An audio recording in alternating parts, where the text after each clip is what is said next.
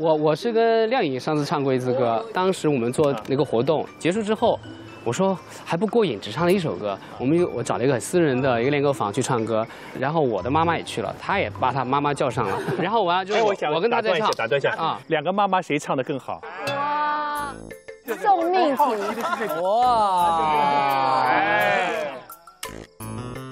哎呀，有戴金哥在，怎么会这个节目那么好看呀？我觉得我的妈妈是属于呃高音歌手，她妈妈是属于那种就是中低音歌手。然后呢，我妈妈比较多唱，她妈妈比较少唱，所以当天那个配合就就刚好，嗯就是搭配的很好。好会说话，滴水不漏。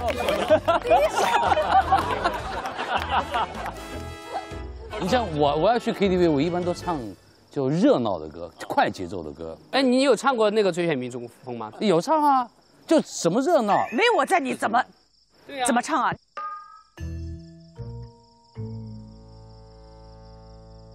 有有女生唱啊。